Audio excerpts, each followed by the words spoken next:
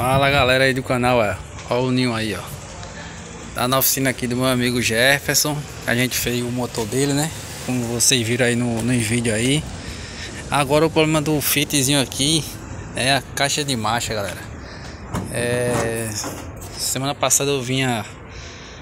Não, vinha aí de um lugar aí, aí acavalou... Na verdade, o que aconteceu foi a trizeta, né? Soltou dentro da caixa de marcha e o enrolete travou a caixa de marcha.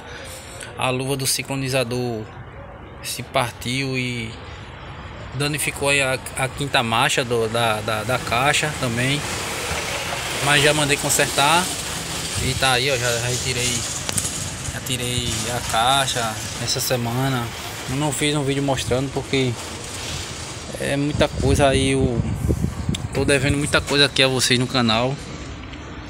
E já mandei pro conserto, né? A caixa do ninho aí, mandei mandei consertar, que eu não mexo em caixa, né? E tá aí o guerreiro aí, ó. Tá vendo aí? Olha, doutor Iê, ó. Doutor Iê aí, ó, na área, né? Adesivo, aí, ó. Tá vendo aí, ó? E é isso aí, galera. O ninho tá aqui parado. Né? Vai ter que trocar a caixa. É, consertar a caixa, que diga, né? Ah, olha lá o reflexo.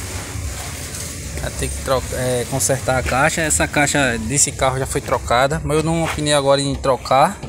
Preferi consertar, né? E é isso aí. Já pedi uma trizeta nova. E ó, a trizeta nova. Essa aqui foi a que danificou, ó. Tá vendo? Ela soltou dentro e o enrolete caiu dentro e danificou, né? A outra trizeta aqui, ó. Aqui, aqui o sendo da trizeta. E... e é isso aí, beleza?